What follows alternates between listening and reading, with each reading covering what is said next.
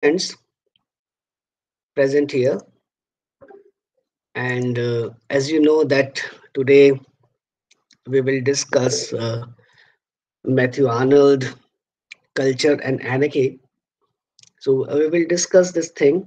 and I have also prepared a slide so that uh, you will get uh, some visual effect as well. So it is a prose text as you already know. So we will see what are the things that are mentioned in this text and uh, uh, what are the views expressed by Matthew Arnold in this text titled Culture and Anarchy. So I'm sharing uh, my, my presentation with you all so that you'll be able to see and uh, and I hope now you are able to see see the slide. So this is the the first slide and uh, what we know about Matthew Arnold that he was an educator and uh, he was uh, in a way like education officer he was also a poet and uh, we find that there is one poem titled dover beach that is much, much anthologized that we also know. And he was also a professor of poetry at uh, oxford university. So this biographical information we have with us about matthew arnold.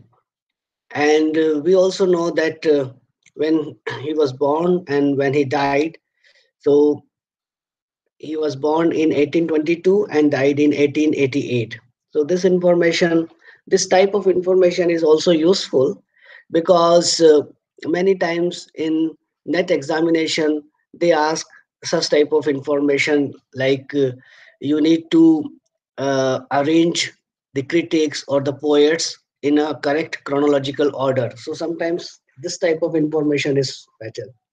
So what we are going to study in this presentation, in this one hour or let's say more than one hour lecture, so why Matthew Arnold? Like uh, why in the in the present situation, in the present scenario, we are studying Matthew Arnold. That is uh, the first thing. Then we will also examine that did he say something or anything new like what the what the ideas that are expressed in culture and anarchy they are new or not? Then the views that he posited that we will also see. And uh, those views expressed by matthew arnold where they are leading to towards. So that we will also see. And what are the problems which are associated with that views that we will also see so this is a brief outline of uh, what we are going to do in an hour or let's say two hours session. So to start with why matthew arnold? That uh, why should we study matthew arnold? So if you want to understand english and american thinking about literature in the 20th century because we know that Matthew Arnold belongs to 19th century. So he is a 19th century figure. And if you want to understand what uh, English critics, American critics, they used to think uh, in the 20th century, then it is a good start. So we will have some base and on that base, we can build up our building. So ideas generally uh, they have a progression. So we need to uh, study them retrospectively, uh, progressively, fine, so that we we can have a better understanding. So broadly, we can see that uh, Arnold uh, regarded literature as a criticism of life. Now, what is the meaning of criticism of life? Because we all are aware of criticism of literature and the criticism of literature mainly broadly deals with uh, analyzing a text textual analysis that type of thing that is associated with criticism of literature Uh, that means when we study a text closely, when we study a text uh, critically, then we use this term criticism. So what is criticism of life? That we will also see, but uh, this is a view that uh, Arnold regarded literature as a criticism of life. Then at the same time, when it comes to literature, then Arnold believes that literature has a pleasing aesthetic qualities. Fine. So literature has a pleasing aesthetic quality. That is one thing. Uh, something that is pleasing to you, something that has some aesthetic values associated with that. That is literature.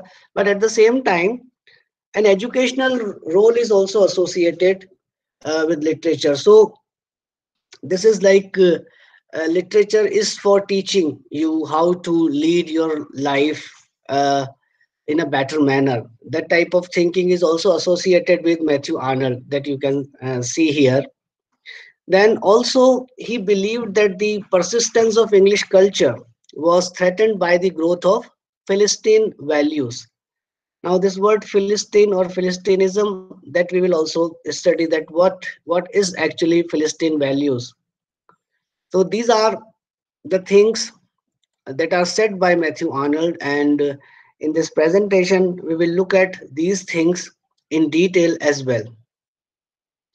But the next question arises that did he say something new? Did he say something, uh, let's say, very revolutionary, something that is out of the blue, that has not been said by the previous critics? That is also a matter of concern. So one such concept is given by Arnold, that is the concept of touchstone. So uh, we know touchstone in the practical life, like uh, what is the use of touchstone? Touchstone is used to check uh, whether a metal is a gold or not. So that is the uh, practical purpose of touchstone. So here this touchstone is actually a metaphor used by Arnold. And what is this touchstone? So again, we are talking about some some standard Arnold is giving some standard, some literary criteria for assessing what is literature and what is not. So again, uh, two ends like plus and minus and uh, if the touchstone passes that thing then that is literature. If touchstone uh, does not passes that thing then it is not literature. So basically this touchstone is an answer to a question what makes literature literature? So that is uh, the the the literary criteria that we have, the standard uh, that we have.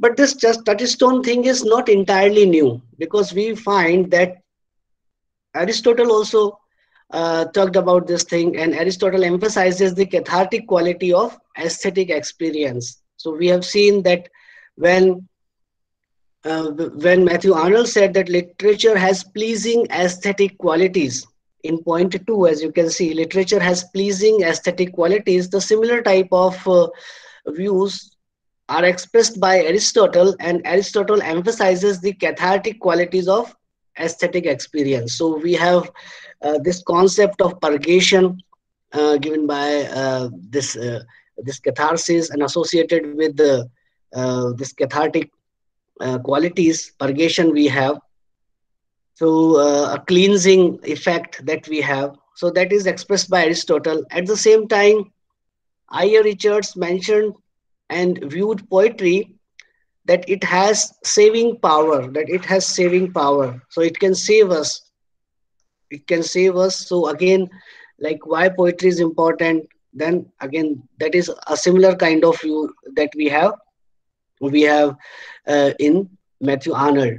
Then F.R. Leavis he had this conviction of the moral role of literature in the evaluation uh, evolution of civilization so again this moral role that means this educational role uh, given by matthew arnold is not new. We we find this in fr leavis as well that uh, there is a moral role of literature in the evolution of civilization.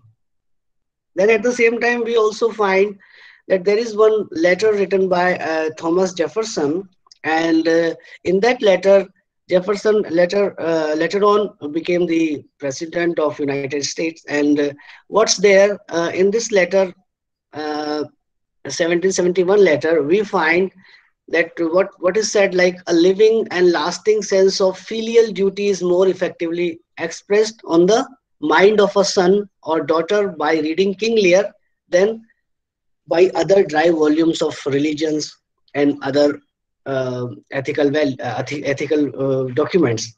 So again literature has more uh, impact. So again when we look at uh, educational role in people's life then again literature has an educational role. And this is also expressed by thomas uh, jefferson when he when he observed in a letter written in 1971 that a living and lasting sense of filial duty is more effectively uh, impressed on the mind of a son or daughter by reading King Lear. So this is King Lear uh, written by a tragedy written by uh, William Shakespeare. And uh, this is again, uh, it is expressed. So similarly, uh, one such one such uh, prime minister of uh, united kingdom once expressed that uh, uh he has uh, he has read pride and prejudice uh, 15 times. And he also claimed that if someone wants to improve on his or her english then a person should read many readings of pride and prejudice. So again this teaching thing the educational purpose is also validated so we have seen that the ideas that were expressed by Matthew, Matthew Arnold, they were not new and they were also expressed by previous critics like Aristotle, I. Richards, F.R. Leavis, and uh, uh, Thomas Jefferson. So this uh, we have seen. So uh, why he said what he said. So he said something. He talked about uh, Philistine values. He he talked about other things. So what made him to say uh, such type of things. So we have various reasons. So first reason is that matthew arnold believed that english was threatened by the growth of philistine values. Now philistine values they are associated with middle class. Encouraged by the rise of a middle class obsessed with material wealth. So what he said what he believed that uh, uh, middle class is so obsessed with earning money or going behind material wealth that they do not care for any other thing. So this is basically this philistine values that everything is money is everything. For example in america we have a concept like time time is money. So we are not saying time is literature. We are not saying that. We are saying time is money. So again like everything is money. So what is this type of concept? This type of concept is philistine uh, attitude, Philistine values. And generally, this is found in middle class because uh, if you look at middle class and if you observe uh, like your family or like families around you, because all of us we belong to a middle class, generally we want to uh, uh, to gain material wealth more than the uh, intellectual. So we want to have a degree we want to have a phd we want to have a net uh, a net certificate or we want to have publications because we have only one goal. We have the goal that okay we will get some job we will earn money we will live our life happily ever after so i have observed many students once they get a job they stop studying at all. So like the job is only uh, they, they, they, they, they were studying because only to get job and once they secured a job they stopped reading altogether. So only what they what they have read previously that is fine and they started earning money or like uh, okay now i need to purchase a land then i need to purchase a plot then i need to uh, make a building a house fine. So all such they are always engaged in such type of things but not in um, other things. So this is basically philistine values uh, mentioned by uh, matthew arnold. And and during that time there was a rise in the middle class and the tendencies of uh, of this material wealth obsession was very much high during that time. So that's why he believed that English was threatened by the growth of Philistine values. That is, the time he believed that religion has been undermined by Darwin's theory of evolution. So uh, there was a greater impact after the the theory of Darwin's uh, that that is known as the Darwin's theory of evolution, and uh, it put actually a question mark on religion that whether we uh, human beings we require religion or not or where there is a need of uh, religion as such. So that was also uh, the, the publication of uh, let's say culture and anarchy. That was also a resultant of uh, or a reply to the darwin's theory of evolution one such reason is also that. And he expressed the wish that poetry would take its place in men's heart. So poetry will replace religion and uh, uh, what the place of religion uh, we have in our heart and that place will be taken by poetry. So for that particular thing uh, in mind he wrote uh, culture and anarchy because these uh, things were quite quite prevalent during that time but at the same time we find certain problems in arnold's ideas so what are the problems which are associated? Uh, first thing is like he believed that the values of the culture were eternally true for every age and all condition of human beings. Now it is not possible uh, that culture is not a static thing that we need to understand. First of all that culture is always evolving so when we say uh, or when we place or when we give importance to one type of culture then other uh, then we believe that that culture is for everyone that culture is for all and that culture values are eternally true. But that is not the case. So something that was true uh, in uh like 2000 years back that cannot be true now. Because uh, culture is con- context based. So culture is uh, culture is contextualized. So we cannot say like something that is true for present day time which will always be true for future or for all the time. So that is one problem that we find in arnold's idea. At the same time he believed that all people at all times were capable of aspiring to the same ideals.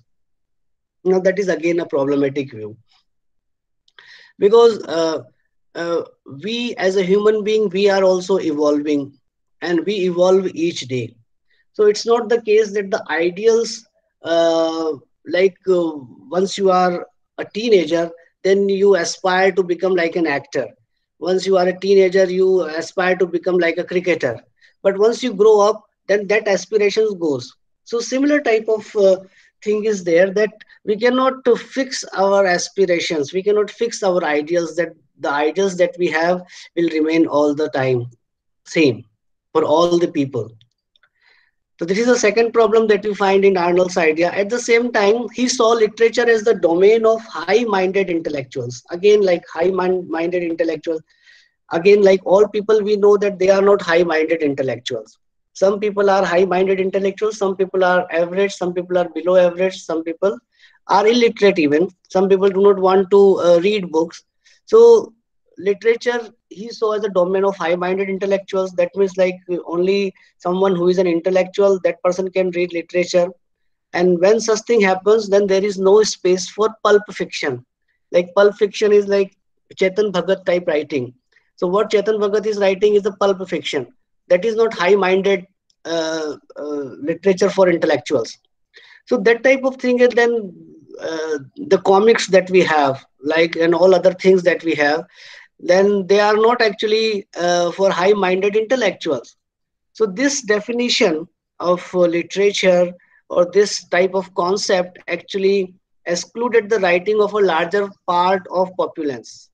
So that is like uh, uh, someone who is who is reading let's say erotic literature. Now erotic literature is not uh, not supposed to be for high minded intellectuals and so that type of literature is also available in the market. So that means like you are only focusing uh, uh, a minor part of populace but not a larger part of populace. So these are the problems which are associated with arnold's ideas. Then what are the arnold's view the touchstone view uh, we have already seen and it suggests using aspects of great literature of the past? Yes hello, sir. Sir, I have one question. Uh, sir, please can you view the uh, third slide? Okay, you want to see the third slide? Yes, sir. Uh, I don't know which one is the. You can see this is the first slide. This is the second. Why he said and what he said. Okay, okay, okay, fine. Uh, It is. It's okay. Sir, yes, sir. Sir, um, I have a question. Uh, I mean, uh, as you as you as you are as you Uh, are li- saying, yeah, listen, listen to me. Uh, you can ask the question once the session ends. Okay, sir. I will I will ask definitely. But sir, I have Because- a because, question regarding. because because the thing is like Regarding- something something we will discuss in the later slides as well so you will get there is a possibility that you will get the answer in the later slides Okay, sir. Okay, sir. fine so that's the reason first you listen to the entire thing then ask the question Okay. Fine. yes. Okay. so uh, that is the one thing. Uh, now the the the arnold's uh, arnold's view. So the touchstone thing we have already discussed. Uh, so we are establishing a standard. We are establishing a literary criteria. Fine. That is one thing. Then this philistinism uh, that is uh, english culture is seriously threatened by a process of secularization. Now what is this secularization uh, to to judge everything on the basis of scientific thinking or on the basis of logic. Now everything in life is not logical. Like something uh, that uh, something bad happened to you and you think like what is the logic behind this that bad thing? I am always a good person. I have never done something wrong to anyone. Then why this thing happened to me? Similarly the images uh, the metaphor or the other things that poetry or let's say literature creates. Uh, that is again not exactly like a scientific thinking.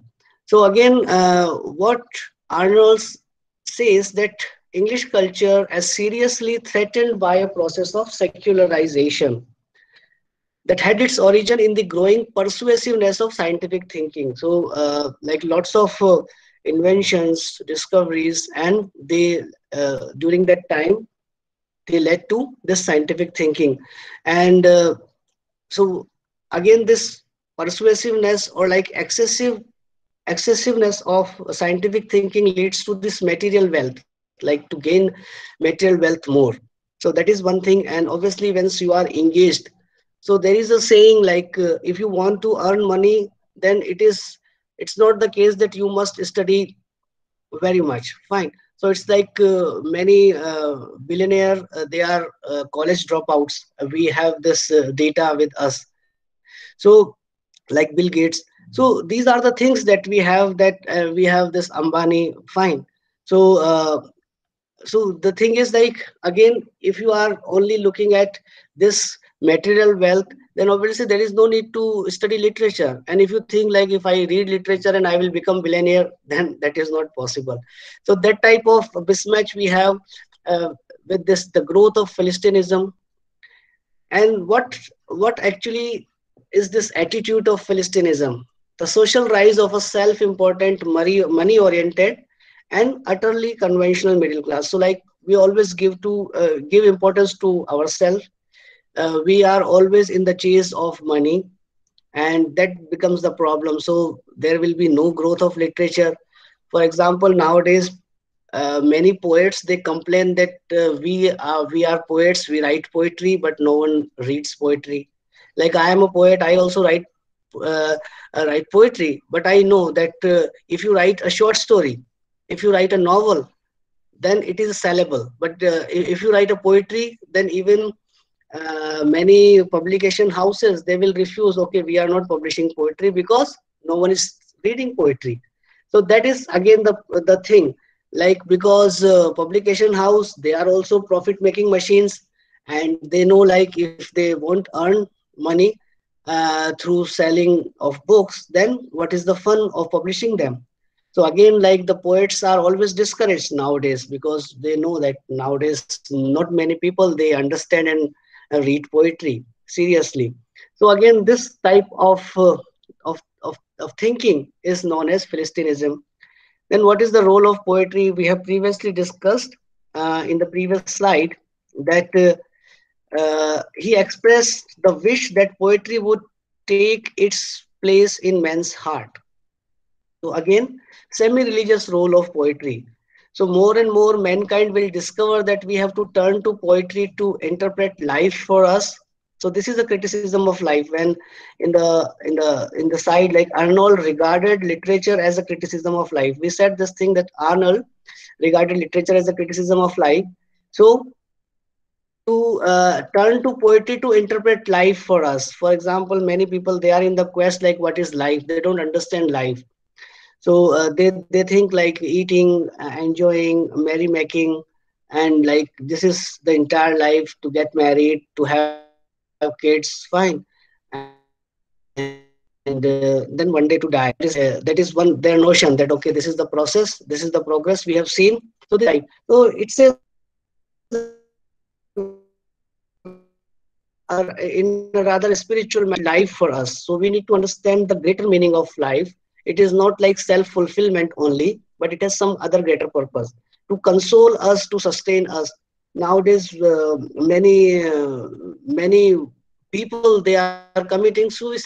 So, uh, like why they are committing suicide? They have everything, but they have nothing.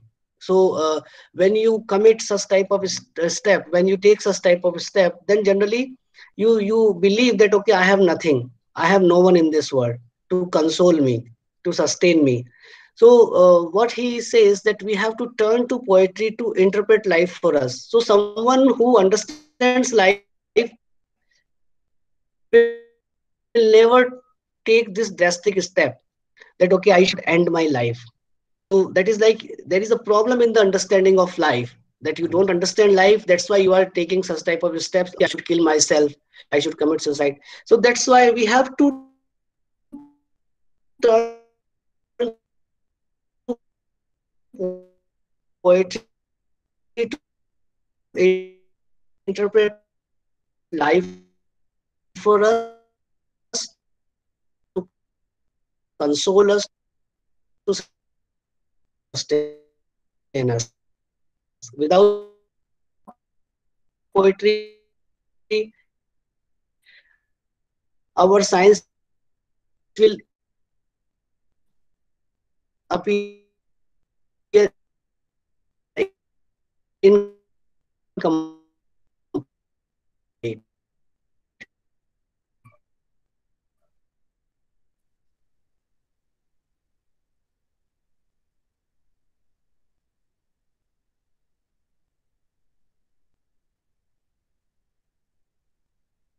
So again, this is a, this is a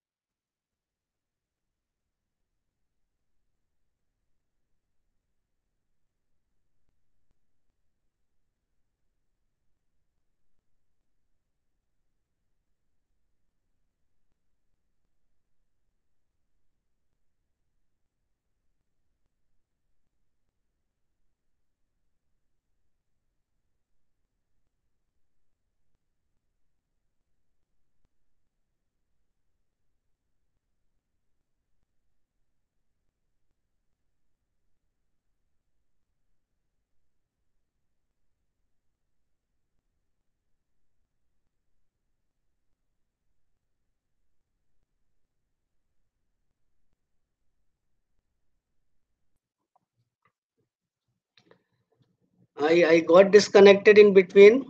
So uh, how long I got disconnected? Hello, anyone? Sir, around, sir, around two or three minutes. Okay, three minutes. Okay. So uh, uh, that is the thing, like because once you make a full slide a screen, then you do not know that whether uh, you are disconnected or uh, you are connected. So uh, okay let me share it once again the slide Mm.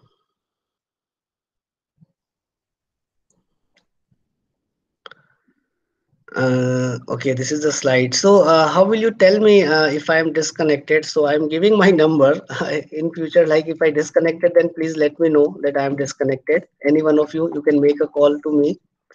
Let me know I'm disconnected, so I will reconnect myself. Fine. Okay.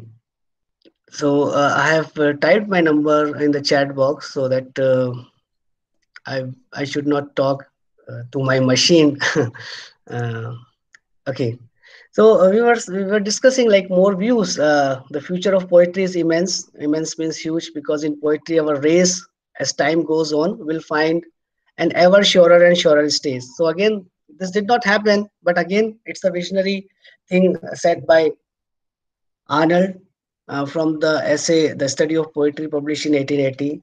Then another important thing about culture, what is said, and actually in the uh, in the preface of uh, Culture and Anarchy in 1869, the best that has been thought and said in the world. This is like a, a much uh, a quoted, anthologized uh, statement, the best that has been thought and said in the world. So we will discuss all such things in detail.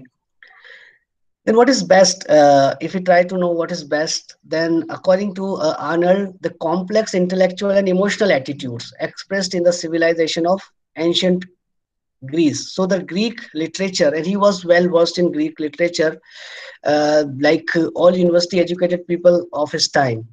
So he was uh, quite familiar with classical history and literature of Greek. So uh, he would see Greek epics and plays um, that that were more than 2000 years old as contemporary texts. So that was uh, the trend during that time. And he was very much influenced by uh, greek epics and plays. And still when we study literary criticism then generally it's a tradition to start either it with plato or aristotle. So we start with plato and uh, the the concept of cave the, the the concept of catharsis imitation and all such things we study. So again this English literature is very much influenced by uh, Greek epics, plays, and uh, Greek writers and critics. Now, uh, when we say, or when Arnold said the best that has been thought and said in the world, so there is a problem uh, with the word best. Now, what is this problem that we find? Actually, this uh, uh, this is from the preface, like the best that has been thought and said in the world. So one problem is like the best is not necessarily confined to poetry. So again, uh, best can be anything. So uh, best can be uh, like uh, plantation, like very much plantation, and uh, and uh, you have you have no this carbon emission. So that type of thing is also best. Now it has nothing to do with literature as such so uh, you have a good medicine or like a good living habit now that that can be the best. So this problem with the best is like the best is not necessarily confined to poetry. That's one thing. And whatever is the best in one culture cannot be best for all.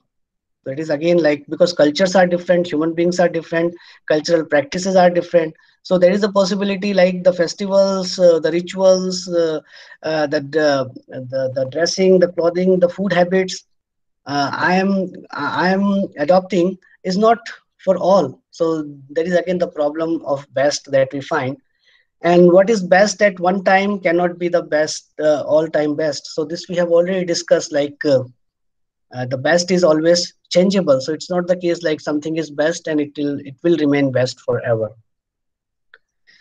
So now we will look at the preface, and this one excerpt is from the preface, and what Arnold says. In, in the preface to uh, Culture and Anarchy that the, the whole scope of essay is to recommend culture as the great help out of our present difficulties.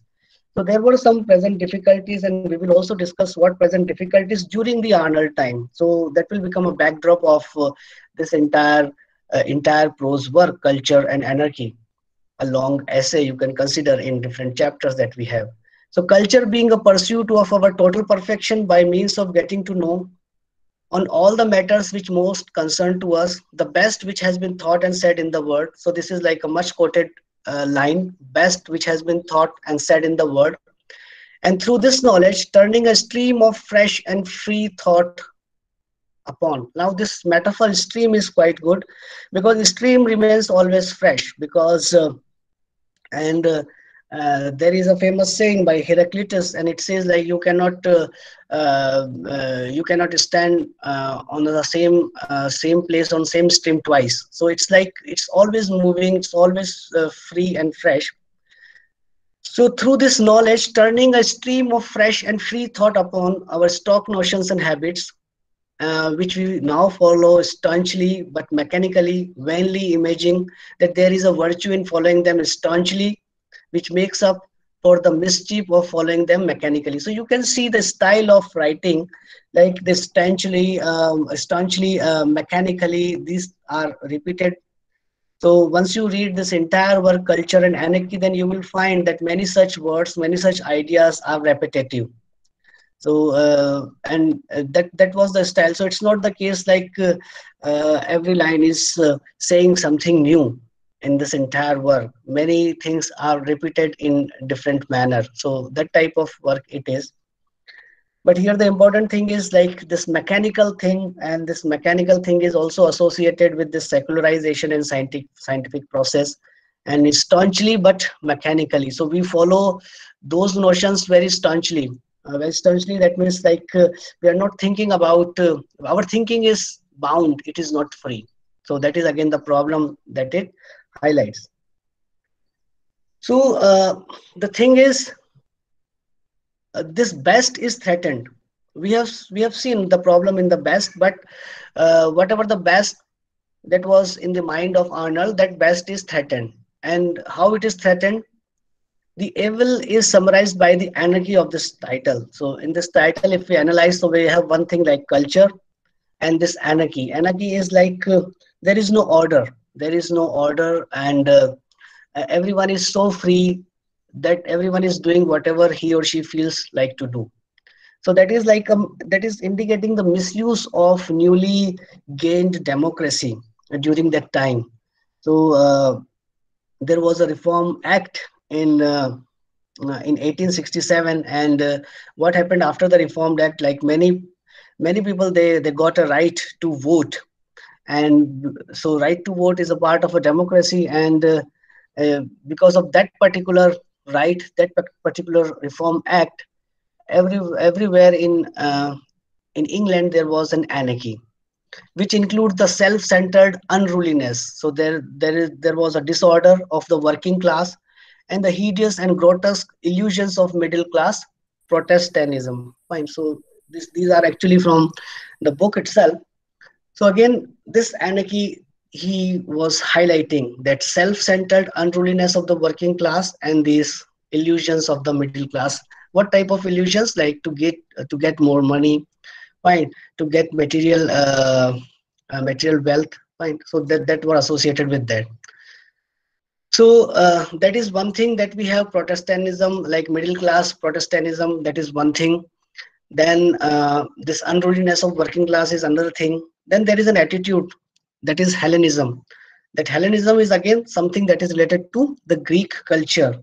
And at one place, Arnold says like this Hellenism is to be imported. Imported, that means like we import something that is not there in our own culture.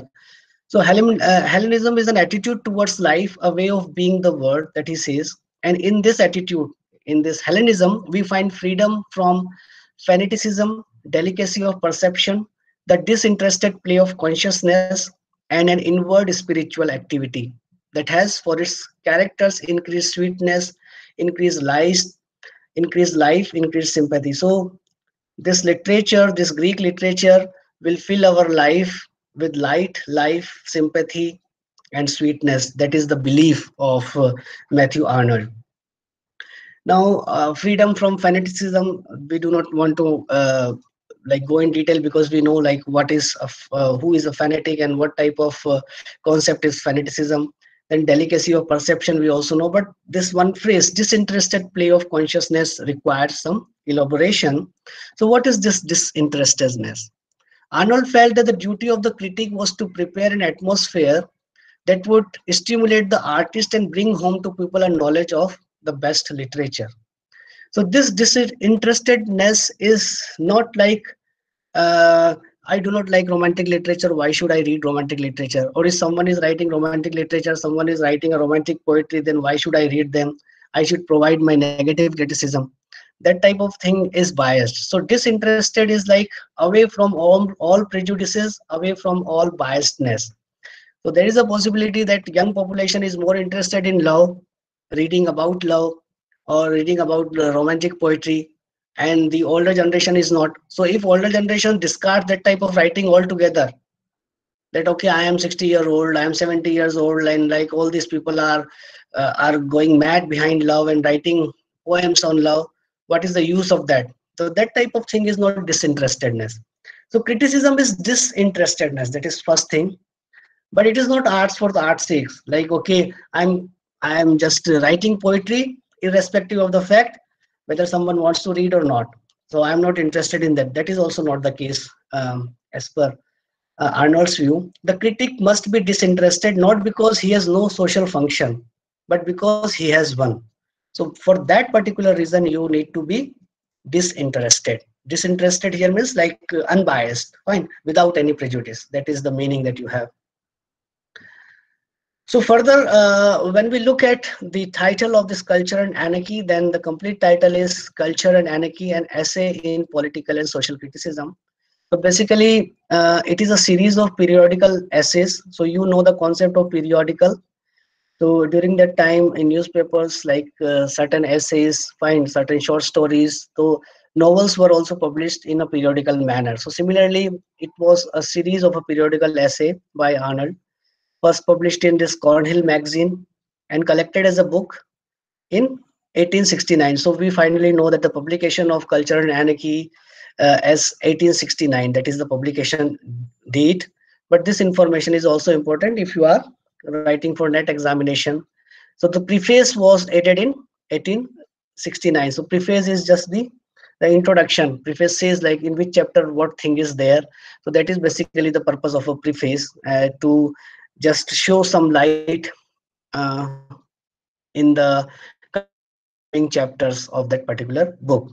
So we have like six chapters uh, in culture and anarchy, and the first chapter is sweetness and light, and I think this is the part of your syllabus as well. And the chapter two is doing as one likes, and the third chapter barbarian, Philistines, and populace. That is again the third chapter. That is the part of I think your uh, your syllabus then chapter 4, Hebraism and Hellenism, I think that is also the part of your syllabus. Chapter 5 is Porro unum est necessarium, and which means, but one thing is needful, that is chapter 5, and chapter 6 is our liberal practitioners. So we will look at uh, uh, what is there in each chapters, and but our focus will be on sweetness and light, our focus will be on Hebraism and Hellenism, our focus will be on barbarian, Philistines, and populace. So that will be our our focus. So i hope like i am uh, i am the part of the group. Are you listening me? Hello? Yes sir. Yes sir. Yes yes fine. So uh, i will ask you this type of question in between uh, so uh, so i'll be informed that okay i am part of uh, the group. So uh, but before we look at this each individual chapters it is also good to look at uh, what type of style what type of mood what type of argumentative method what type of persuasiveness uh, adopted by matthew arnold in, uh, in culture and anarchy. So the thing is like uh, at the backdrop we uh, we have seen uh, that there there was a reform bill of 1867 so in culture and anarchy, Matthew Arnold sought a center of authority. So poetry will become the authority, literature will become, the culture will become the authority, by which the anarchy caused by the troubled passage of the Reform Bill of 1867 might be regulated. So once there is a change in the society, then obviously there are lots of agitation, there are lots of uh, uh, um, lots of regulations, uh, there are lots of uh, uh, problems, troubles, uh, so for that particular purpose, so this is an answer that okay, all these these problems will be solved if you put culture at the center. If you replace religion by culture at the center. So in culture poetry is also one such part. So that is the basic idea. And if we look at the style if you read the sculpture and anarchy then you will find it is clear flexible and convincing. That means uh, persuasive. You want uh, the matthew arnold wants his readers to be convinced that whatever i'm saying that is correct and you just change the way you look at this world. You need to change the way you perceive your life. And how you can change? Once you change the center of authority. So now you believe that religion or some god is the center of authority. Now it should be replaced by culture then the mood is uh, indignation. Uh, he was filled with anger impatience and fear because uh, lots of riots that were uh, happening around. And uh, uh, this irish people they were also demanding for a separate republic for themselves. So all such things were there. Then as we mentioned earlier and we have seen that many things are repetitive. So though it is argumentative. This culture and anarchy is written in an argumentative tone but it, again it is uh, repetitious and unsystematic. So it doesn't follow a system. System in a in a manner like starting with introduction uh, then theoretical background uh, then you have uh, discussion analysis and then the conclusion. So that type of system it does not follow. So generally this essay starts with these type of headings but that is not the case but it is quite persuasive. And uh, uh, what Matthew Arnold emphasized that Victorian middle class it must reform itself before it can begin to reform the entire nation. So the main focus is on the middle class because middle class is the majority of the population. The working class is minority as well as the aristocrat. They are also the minority. If we look at in uh, any nation, we will find that uh, a majority of the people are middle class. So the focus is on the middle class and uh, this appeal uh, this persuasive uh, appeal is made by arnold to to middle class mainly.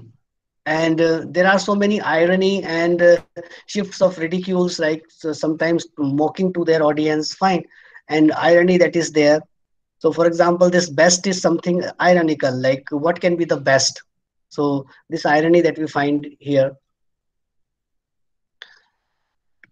So uh, when we when we look at this, uh, like what is the background of writing this culture and anarchy, then we find that Arnold primarily directed his criticism against the utilitarianism. So there is one utilitarianism that whatever we should do, if it has some utility, then it is fine.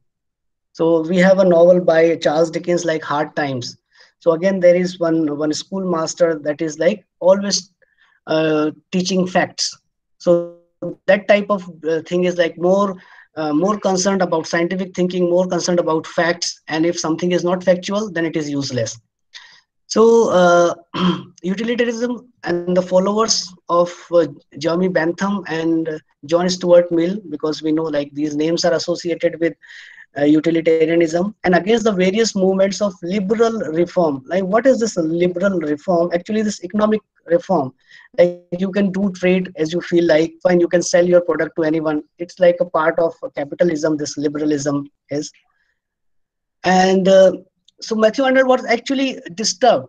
That is one thing that uh, uh, the views utilitarian views they were in rampant. At the same time he was also uh, disturbed by he was also disturbed by social and political confusion.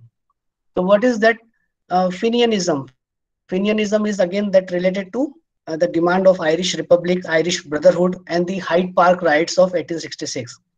So immediately, like these type of riots, they were taking place. Like uh, these reforms should not be take uh, should not be uh, taken place, uh, should not be implemented. So one party was saying like that, other party was demanding no no no we want reform we also want to vote. So that type of thing was there.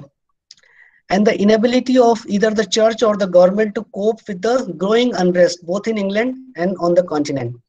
So uh, in the continent like if we consider other nations as well or if we look at like uh, this united kingdom where we have wales we have uh, uh this ireland that we have.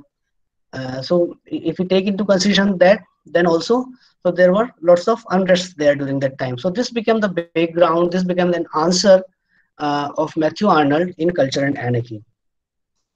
So as we discussed that in Culture and Anarchy, we have uh, uh, we have six chapters and we will look at like uh, what Arnold is saying in these six, chapters. And the first, first chapter is sweetness and light. So in this in this in, in this chapter first chapter he is actually defining what is culture. In sweetness and light he is defining culture. And uh, what he's saying he's saying that culture is a socially inexorable movement towards the idea towards the idea of sweetness towards the idea of what is good for them.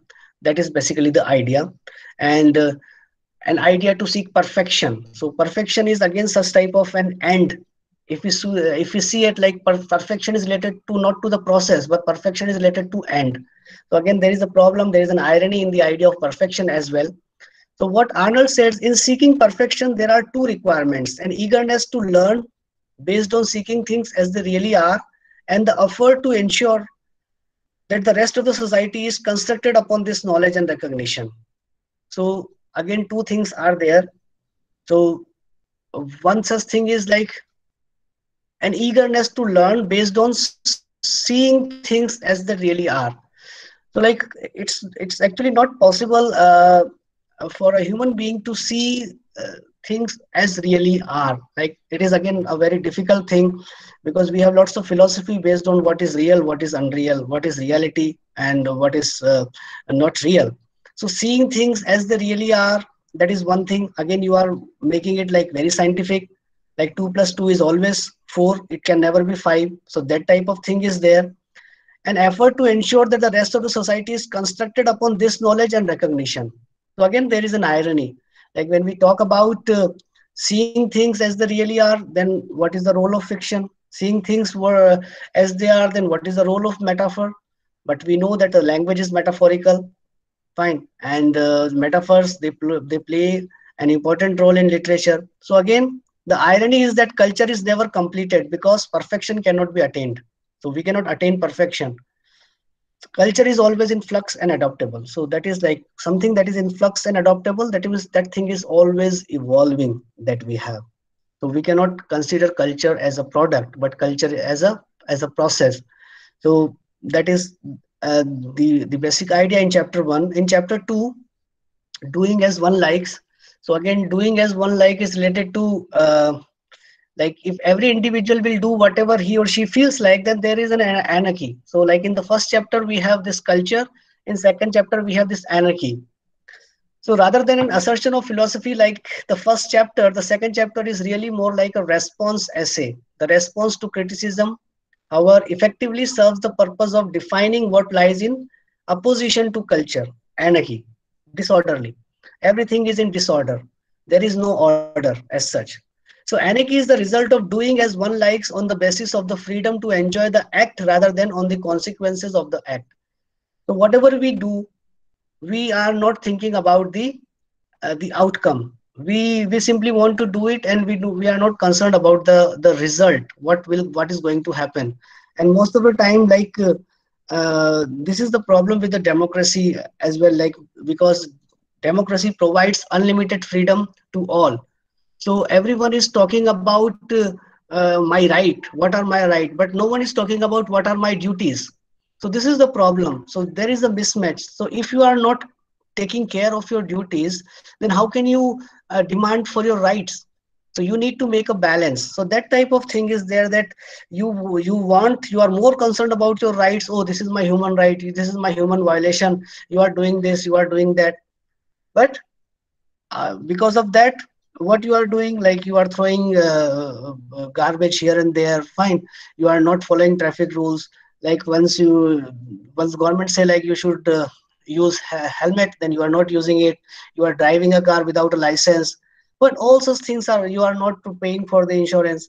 So the thing is like you want to enjoy your rights but you don't want to perform your duties. That is the problem and that is the result of anarchy as such so thus in Arnold's, uh, in Arnold's mode of structural thinking, anarchy differs substantially from the modern definition in that it is worshipping freedom itself as a concept rather than the benefits which come with understanding the responsibility that come with being free. So it's like uh, you, you are enjoying that freedom so uh, so blindly that you do not understand what to become a responsible citizen also so uh, when it is a time to get educated you are not studying.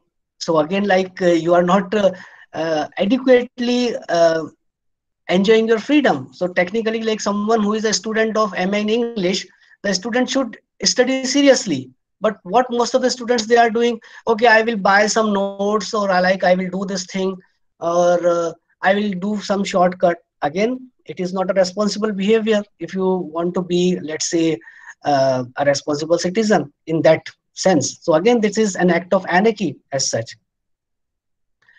So we will focus on the sweetness and uh, light because as you know that the sweetness and light is also the part of your syllabus. So basically, the sweetness and light was first used uh, by uh, Jonathan Swift, and uh, Jonathan Swift uh, is famous for this uh, Gulliver Travels and uh, other such parody. So in 19 in 1704, Swift wrote of beauty and intelligence. So he used the term beauty and intelligence, and the two he said like these two things are the noblest thing. So beauty is associated with sweetness and uh, intelligence is associated with light. So again, if you are intelligent, then um, we generally make such type of comparison like uh, uh, a, a dumb and a light. Fine. So that type of thing is a bright light. He is a bright chap. So again these type of uh, metaphors we use. So this type of phrase like this phrase later on became so famous. So in 1869 uh, arnold made swift's letter phrase a touchstone of the Victorian sensibility as the title of the first chapter of his culture and anarchy. So this become the first chapter, sweetness and light. And we know like from where this thing has been borrowed from. So culture looks beyond machinery. So something that is machine me mechanic that cannot be sweet. So you you you will never never say, oh, I have a sweet machine. You will never say this thing, oh, I have a sweet laptop, oh, I have a sweet a mobile phone you will say i have a smart mobile phone. You will not say. So uh, that is a difference. Uh, like culture looks beyond machinery. So something that is so mechanic so mechanical that is not actually culture. Culture hates hatred uh, that is again like when you hate hatred that means like you are adaptable to many things many new ideas. Culture has one great passion the passion for sweetness and light. It has one even yet greater. Fine. So this is this is the one great passion that a culture has that is for sweetness. So you, if you are sweet then even if you do not like someone then you will not use harsh word. If you are sweet fine. So this is the definition of sweetness that okay if you do not like someone but still you are sweet you will not become harsh you will not say the words uh, bad words. So that is uh, the commonsensical definition of sweetness that we have. Then further uh, arnold said it is not satisfied uh, till we all come to a perfect man. So again like this this ironical concept perfection is here. It knows that the sweetness and light of few must be imperfect until the raw and unkindled masses masses of humanity are touched with sweetness and light. So that means again the thing that we have uh, uh, that that we have seen previously uh, and uh, that that like something is to be passed upon passed upon to the future generation as well. So that is required that something something we need to learn and eagerness to learn based on seeing things as they really are. So that means like we are not in the process of uh, unnecessary changing someone that you be like me. That is not the aim of a culture like be like me. That's not actually the aim. So uh, seeing things as they really are and the effort to ensure that the rest of the society is constructed upon this knowledge and recognition. So that type of thing we need to uh, we need to impart upon. That is also the case. Then uh, only it must be real thought and real beauty real sweetness and real light. So so much things are real. Uh, and uh, this real is actually the the answer for what he says disinterested play of consciousness and if you want to know what is disinterested play of consciousness that means to see a thing what it actually is like. So that is the the way of looking at things. So look, looking at things as they really are. So it's like uh, a stage like a buddha. You have become a buddha and you are seeing the things as they really are. So it's like uh, like a person uh, the hero of the matrix the person is seeing everything very clearly that okay this is uh, everything is illusion and what is reality. So uh, if you had watched that movie then you would uh, you would recall that there is a blue pill and there is a red pill. And if you uh, take the appropriate pill uh, that capsule then you will realize what reality is.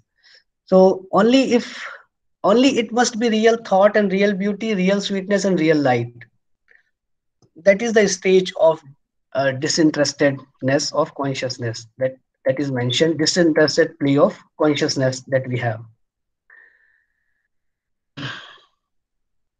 Plenty of people will try to give the masses as they call them an intellectual food prepared and adopted in the way they think proper for the actual conditions of the of the masses. So that is that is there. Um, that is the highlight of this chapter 1 then in this uh, we will discuss what is there in chapter 3 and chapter 3 i think is also the part of your syllabus that is barbarian philistines and populace. So that is also also the part. So can we take a 5 minutes break and then we rejoin? What do you say? Uh, can we take a 5 minutes break? Okay, sir. Yes, fine yes and so it is like 12 3 so we will join at 12 10 fine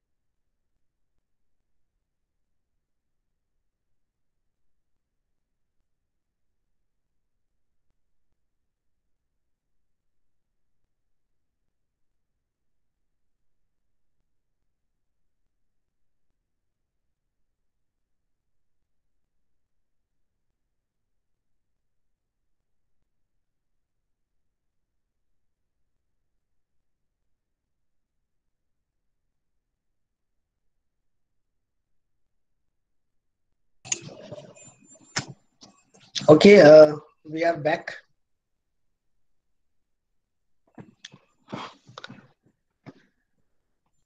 So are you there, all of you? Yes, sir. Okay. So uh, we will uh, we'll discuss this uh, chapter three, uh, the barbarians, Philistines, and populace. The terminology of the past is uh, exploited by Arnold to describe the then modern subdivision of classes. Uh, so we already know like uh, who is the barbarian um and who is a Philistine.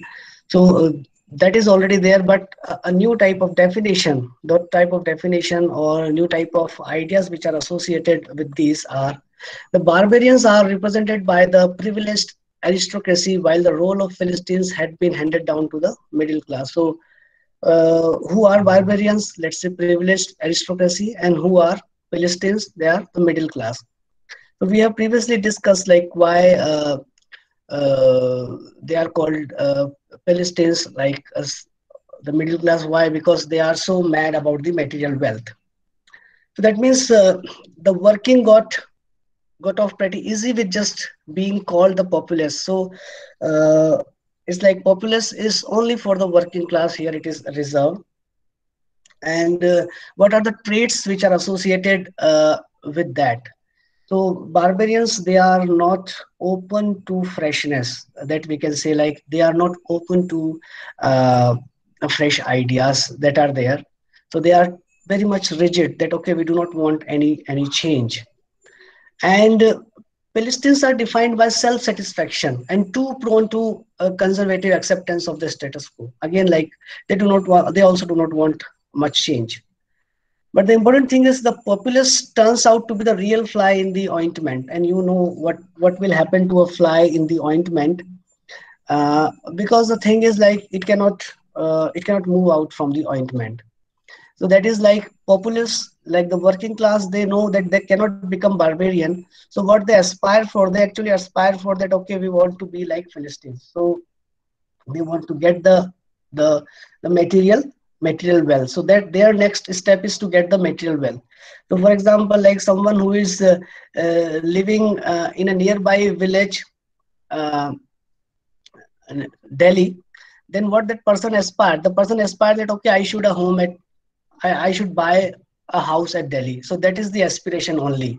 That is the lifetime achievement. Someone who is living in a village nearby Delhi, that person only aspires like I, I, I must have some like even two rooms like uh, or a small flat but it must happen so that type of aspiration because they know like they can't reach you i'm just giving you example to understand this concept like uh, what type of aspiration these type of people they have and the problem is with the uh, reform right uh, 1867 all these three people like barbarians uh, like the privileged aristocracy as well as the middle class as well as the uh, populace they all get the right to vote.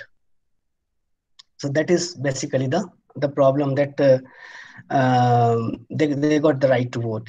So this type of thing this type of thing is associated uh, with these three barbarian uh, Philistines and populace in chapter 3 that we have.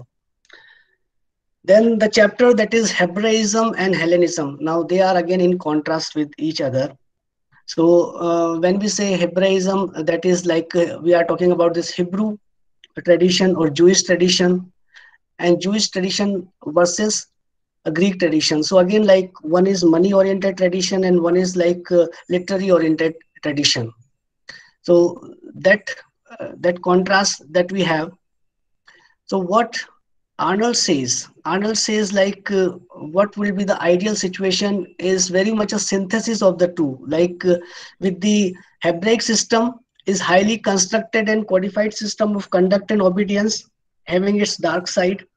So like religion uh, offers us lots of do's and don'ts so that is also religion uh, in a in a way let's say christianity that is also a part of like hebraism because lots of do's and don'ts that we have and that is the dark side.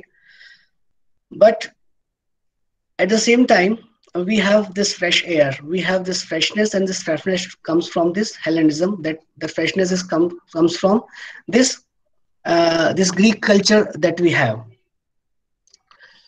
So uh, that is the part of uh, chapter 4 and we will discuss this hebraism and uh, hellenism in great detail because here we are just looking at the bird eye view of what's there in these chapters. Then uh, in the chapter 5 Porro unum est necessarium and it is a latin phrase and the translation goes like but one thing that is needful. So again like the one thing that is needful it's uh, it's like a phrase that we have and uh, the phrase that indicates uh, that what is to be done. So we need to also understand that uh, when these essays these like five chapters they were written and during that time when the puritans dominated the discourse of uh, british theology fine. So uh, like we all we already have this concept of uh, puritans uh, who are puritans and uh, we know like during the time when when milton was writing then there were incidents like theaters was closed and uh, there was a time when uh, the religion was uh, becoming an oppressor during that time.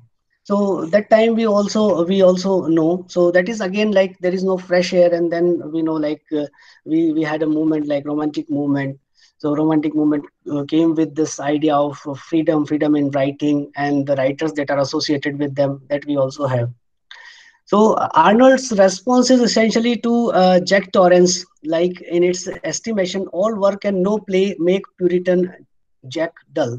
So it's like someone who is a Puritan and the name of the person is Jack, then obviously that person will become dull. And by dull is meant not boring but incomplete here.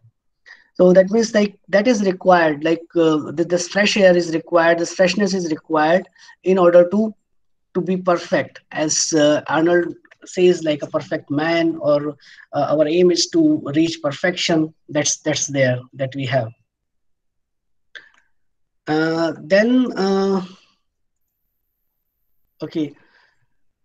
Sorry. Uh, we have this uh, last chapter our our liberal uh, practitioners. And in this again the the focus is on the liberalism. And uh, we know like the concepts which are associated with liberalism they are like economic freedom that is there. And what it is there but arnold said like this is usually considered the least interesting section of this book for modern readers because it is an attempt to apply the theoretic constructs outlined previously to concrete political and religious event occurring in england at that time. So again like it's an application part uh, that how things uh, that that are mentioned in the previous one that can be implemented. And uh, in this chapter we have references to the real estate uh, uh bill the uh, liberation society and multiple personages whose names are lost to all but the most precisely focused on the historical scholars and the other people that are associated with that. So generally uh, in order to just give you a a bird eye view i have collected uh, some of the materials even like i have not gone through the entire uh, chapter 6 because uh, most of the time like in syllabuses we have uh, these three chapters like sweetness and light and uh, we have this uh, this chapter like hebraism versus hellenism or we have the concepts like what is which are associated with this philistinism or what is related to poetry. So now uh, the more focused thing is like what is actually uh, the culture? What is culture? And we will look at uh, what matthew arnold's uh, want to say when he talks about like uh, uh, culture is so perfect and culture should be the part of the authority.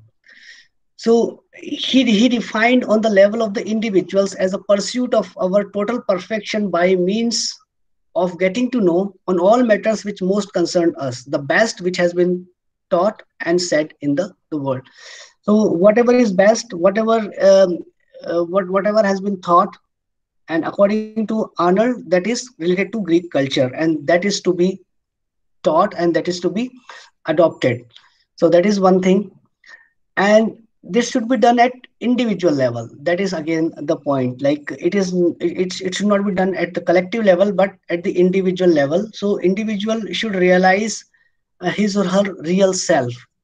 That is the important thing because this authority is internal. So this authority is not like uh, uh, the authority that we find in Gramsci. Uh, in Gramsci, like we have uh, the authority of the government, the authority of the state, the authority of uh, of of the church. That type of not that authority we are not talking about, but it is like self-discipline, more like a self-discipline that you have this culture, you have this literature, and um, you have this knowledge, and you try to uh, to build upon yourself with that authority.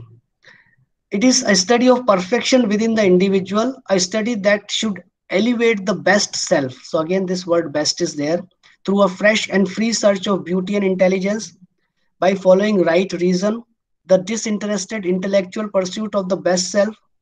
Arnold foresaw a way to overcome the social political confusion of the 1860s and to prepare for a future in which all could be happy and free. So that is again the part of uh, uh, of this that we have. And uh, to more on culture, uh, Arnold clarifies his definition of culture by tracing its origin to curiosity of scientific passion. So it's not like scientific uh, reasoning all the time, but uh, a scientific passion. That means like you are always curious, you always desire to see things that they really are. So that's like you are not um, you are not deceived by the illusions. Or to morality social passion the desire to do good. So these two things are there. One is uh, so scientific passion and other one is the social passion that is associated with that. And christianity his uh, as he saw it is like culture in that it also seeks to learn the will of god that is human perfection and make it prevail. Culture goes beyond religion. So it's like he says like culture this this religion particularly christianity is also like culture but culture is better than religion. That is the thing. As interested by the non-conformist in that it is a harmonious expansion of all human powers. So uh, something uh, that are limited in religion that can be expanded that find expansions or harmonious expansion of all human powers in culture. So it's like uh, culture is uh, will take a place of of religion that is said by uh, to Arnold. So what else uh, he said on culture? Culture is opposed to uh, utilitarianism we have seen, which Arnold considered mechanical because it worshipped means rather than ends. So uh, again, like there is a fight between means and ends. Like perfection is always an end, and it's not a mean that we have already seen. So anything materialism like economic greatness, individual wealth, bodily health, puritanism. So uh, that was treated as an end except that of human perfectibility.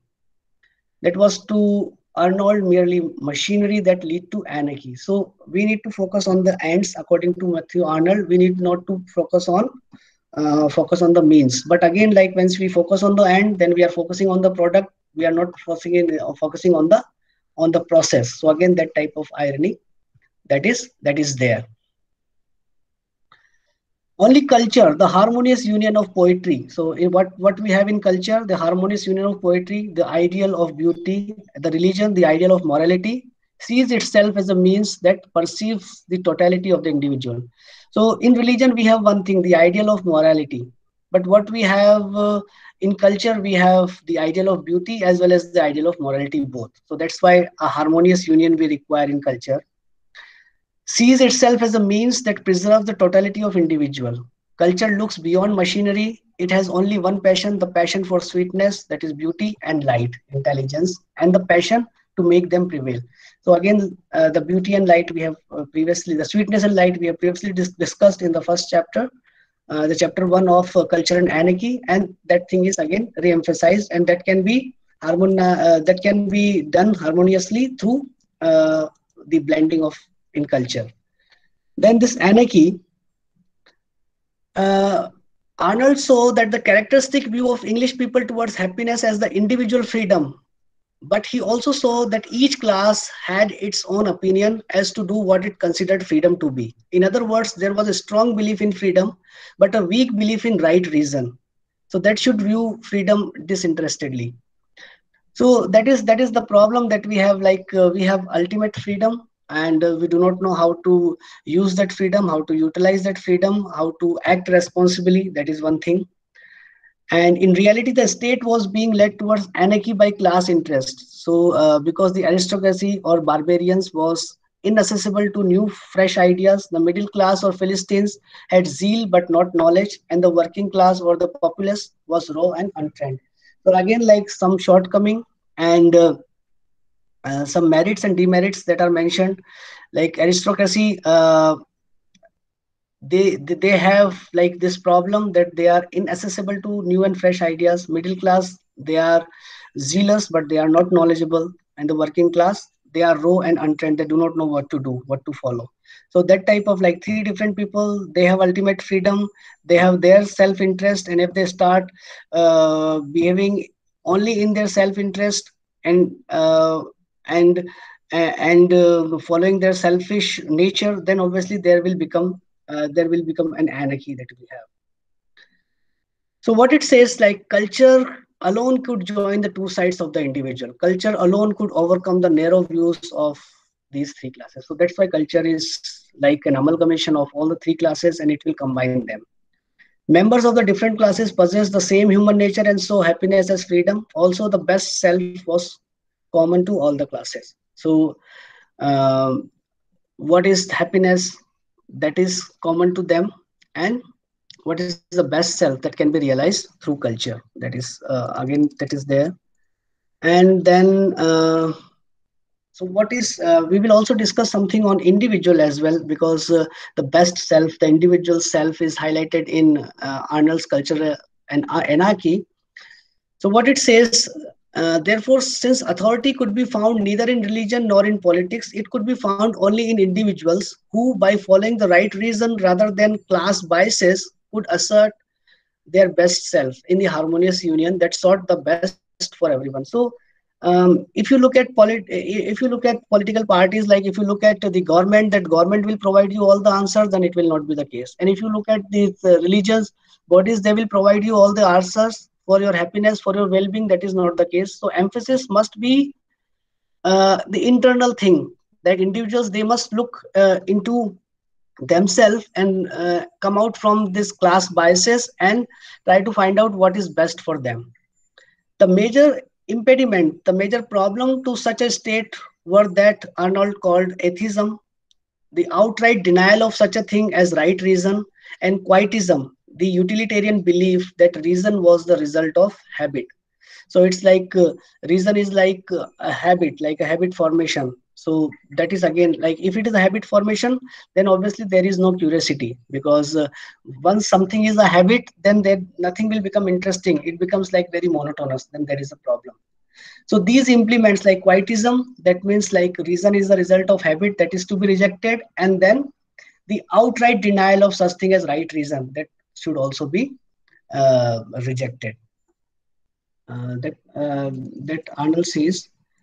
Then, uh, when it comes to Hebraism and Hellenism, uh, Arnold accounted for the very ground and cause out of which actual behavior arises by distinguishing between the energy in human affairs that drives practice, the obligation of duty, self-control, and work, so these are Hebraism and the energy that drives those ideas that are the basis of right practice. So these two things are are there. Uh, we need to understand that uh, with Hebraism, this obligation, this duty, this self-control, and something that is mechanical that is associated with, and uh, in Hellenism, uh, we have this freedom, this freshness, uh, the fresh ideas that that are to be uh, implemented, that are to be incorporated. So, like the scientific passion, Hellenism's chief function is to see things as they really are. So, this is like a buzzword here. Many times it is used that to see things as they really are, like a social social passion that we have. Hebraism seeks proper conduct and obedience. Both drives aim at human perfection or salvation. So it's uh, so uh, Matthew Arnold is not saying that uh, you should just do away with this Hebraism altogether he says like okay both are uh, both are necessary both drives aim at human perfection or salvation but their means and ideals are sharply different hebraism or strictness of conscience inculcates a sense of sin. But Hellenism, the spontaneity of consciousness, teaches what Arnold's called culture. So, but there is a difference. Like uh, when there is so much strictness, and uh, once you are uh, once you cannot follow that strictness uh, in terms of uh, morality in terms of religion then some some sort of guilt comes into into your mind. So that thing should not happen. And hellenism eh, we have spontaneity of consciousness and we do not uh, go uh, we do not get that type of guilt or sin that is associated with. So basically this is this is a philosophy that is associated. So what is the solution? Arnold suggested that hellenism to be imported because it's not the part of their culture. In hellenism which ultimately is a synonym of for culture the ideals of internal harmony or the unity of the total human being and of the harmony with things overcome the one-sidedness of hebraism. So that is uh, that is to be attained. And the other drive however should not be excluded. For for hellenism alone leads to moral relaxation. There should be a harmony of both sides a union from which would come the awakening of the healthier and uh, less mechanical activity. So both things are to be uh, both things are to be uh, synthesized in order to attain uh, this perfection this perfect man or what we call culture. So this is uh, for all and uh, what we have discussed because it's a philosophy it's like more like a, a social a social and political document and uh, his response was uh, on the social unrest that was uh, going on during that time and the political turmoil that was going on during that time and the philosophy that is influenced by uh, different philosophers. So we have lots of repetition that is there and you will find like uh, lots of things which are not put in a proper systematic manner.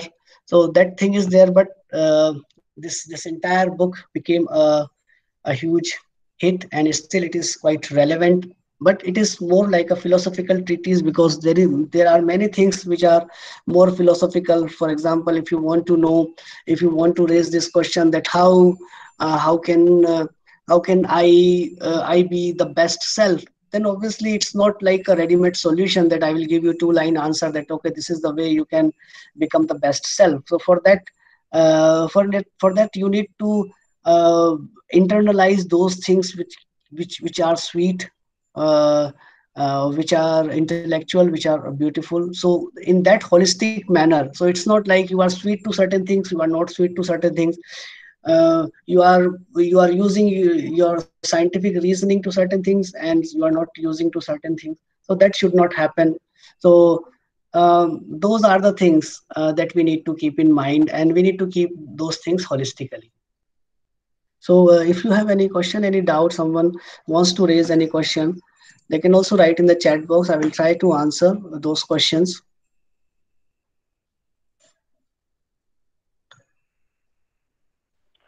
Yes sir, uh, sir i make a question.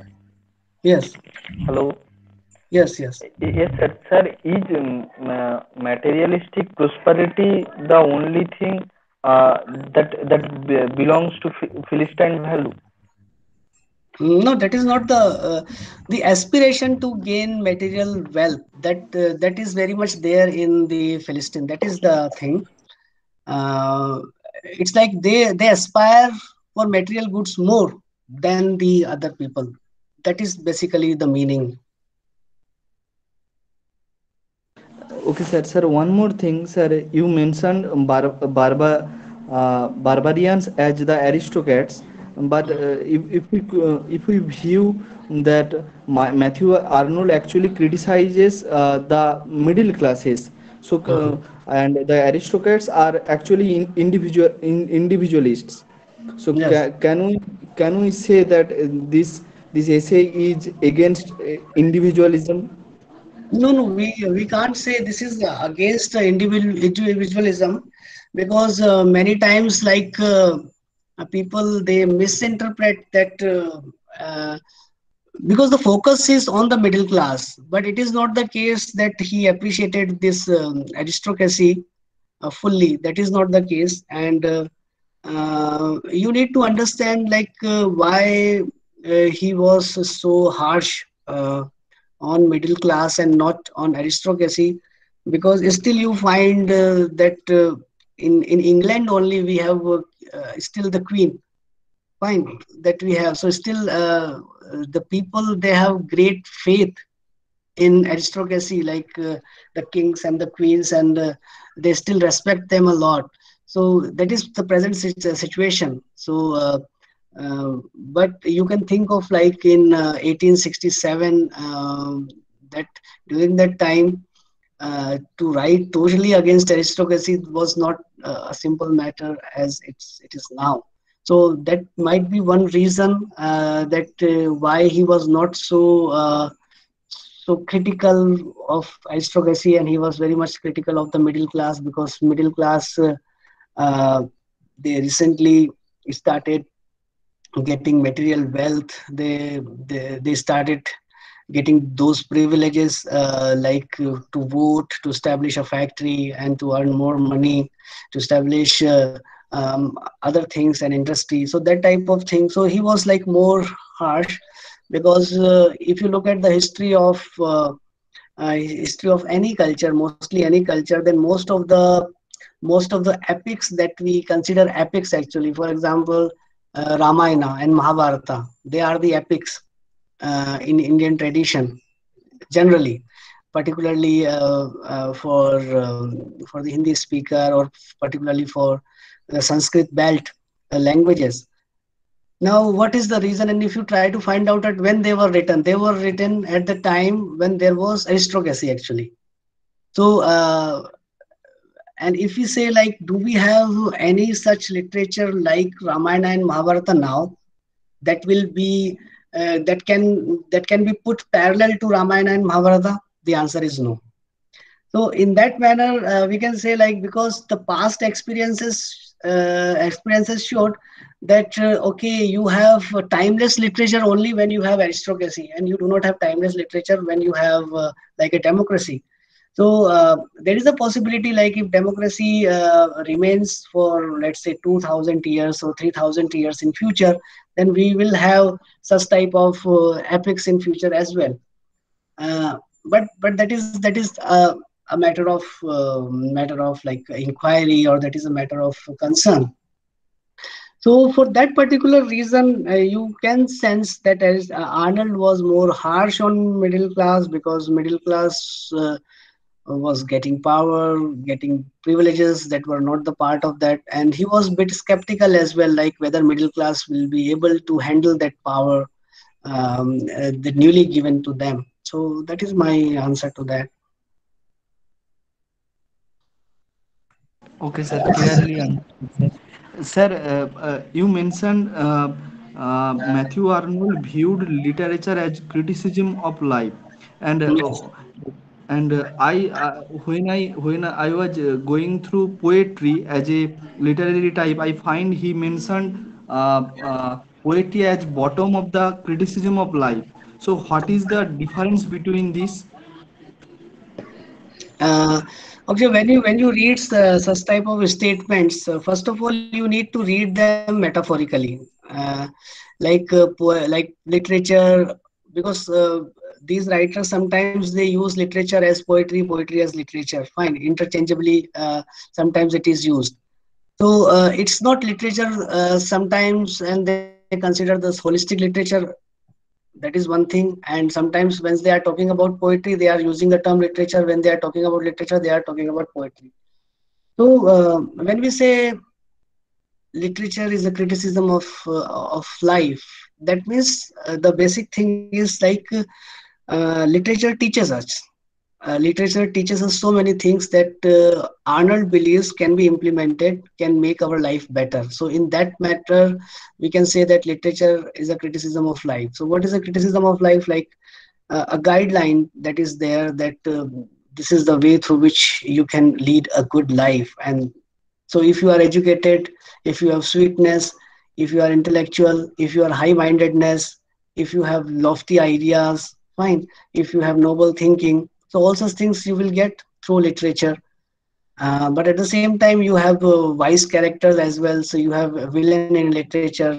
There are crooked people in literature. There are lots of killings in literature. but it is not the case that literature is promoting them that okay you should also become a wise person you will also become a bad person you should also act like that so the, the the thing is like you need to take whatever is good whatever is sweetness that is there that literature is offering to you then literature is a criticism of life. That means you know the bad things that are there in literature good things that are there in literature but you need to pick the good things only. For example it is said like uh, uh, in mahabharata all the people all the types of people that are there in the world that type is mentioned. So someone who uh, who has uh, uh, who has studied mahabharata uh, seriously sincerely then that person has a better understanding to see people. So like uh, still like people they fight for women still people they fight for land still people the brother is killing a brother. So like these things are not like today it is happening. These are ages old things. And uh, we also know once we do a bad thing we know that we are doing a bad thing but still we do we, we do. We know what is good but still we do not do the good. So all such things are also there so uh, that's why literature is a criticism of life. Uh, that's my answer. Okay, so uh, shall we end this session now? Uh, Hello, sir. yes. Uh, sir, uh, can you again repeat the uh, tasking method? uh, what i mentioned uh, yeah i didn't get you Yes, sir. Uh, can you again repeat the tasking method? I, the last word is not clear what would you want yes can you write in the chat box your voice is not clear Yes, sir. Yes, yes. you write in the chat box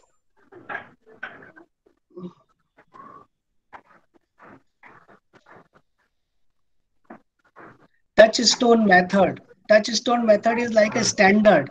Touchstone is like a stone actually. Actually touchstone is a stone that is used to check the quality of a metal whether the metal is a gold or not. So again touchstone method is like a standard criteria. Touchstone is like actually a standard through which we can we can check whether literature is a literature or not. So what is the touchstone method? Like it is based on the greek literature. So you uh, what he says like uh, hellenism. Fine so uh, if a literature is based on the ideals that are posited in the greek literature then the literature is literature. So that means like uh, lofty ideas high mindedness uh, intellectual writing that type of thing is uh, associated with uh, with this touchstone. Like you can check whether literature is uh, whether a literature is a good literature or not. So and also like you need to read other works as well uh, the views like uh, the views of uh, arnold on shakespeare the views of arnold on let's say dante and other writers. So you will also get to know like uh, how to judge uh, whether a piece of writing is a good literature or not. So basically the thing is like if the um, if the good literature is always timeless. So timeless i mean like people will read irrespective of uh, uh, of decades centuries they will always be a hit. So that is basically the the criterion of uh, classics that uh, classics will you will always try to keep those books with you. You you always try to keep those uh, you always try to read those books again. Let's say i have read pride and prejudice then again i will try to read pride and prejudice in 10 years after 10 years so that is again basically the criterion. So that is actually the touch, touchstone of uh, of finding out what is a good literature. So it's like a standard that we are maintaining. Is it fine? Okay, yes. Okay uh, so uh, shall we end this session now? Sir, sir, one, one last question, sir. yes. Uh, sir, you mentioned ma- ma- men are not uh, machine and Matthew Arnold uh, viewed this essay or, or Matthew Arnold tried to write this essay beyond machinery. So, sir, uh, what does he mean by machinery and how it is uh, correlated with machinery? Uh, machinery machinery machinery you want mechanical and Sorry, sir. machinery yeah Yes, sir. Uh, what is the correlation between machinery and uh, and society correlation yeah the Yes. thing is like uh, what is the what is the function of a machine? Machine produces something innumerable times fine.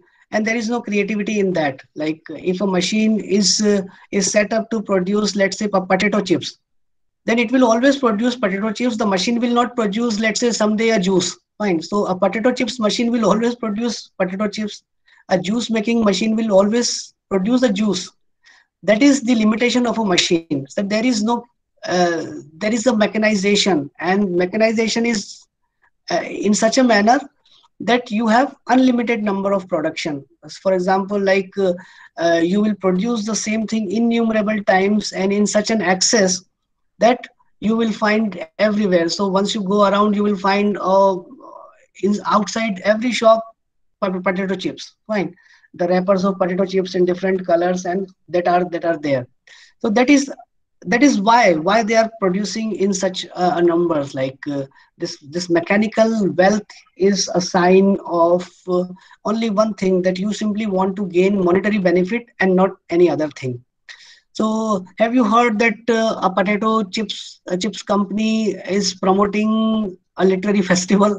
So that type of thing is there like uh, they are not concerned about whether people will become uh, uh, healthy because if you eat excessive potato chips then what will happen? You will become unhealthy. So they are not concerned about your well-being. They are simply concerned about their monetary benefit that they very well know that okay uh, you eat as much as you want and we are not concerned about whether you get obese you will become fat. We are not concerned about that. So that is not sweetness. That is not sweetness. That is uh, this this this machinery is not sweet so if it is sweet then uh, it will say like okay only eat uh, a, a, a potato chips once in a week not eat it daily. But that type of things you will never find on a potato chips. So that type of thing is there. Uh, and uh, they know i'm just giving a very crude example in order to make you understand what is this mechanic or this uh, this machinery type of uh, thinking that we have so they want that you will become an addict.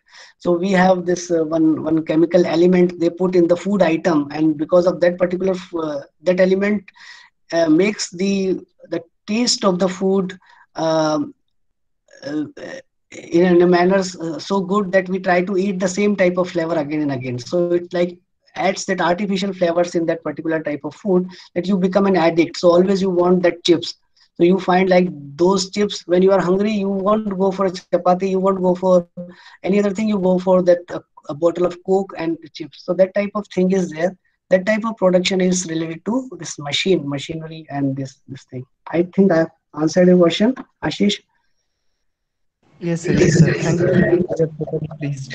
Thank you so Thanks. much. okay, okay then we end this session thank you all bye Thank you, sir. Thank you.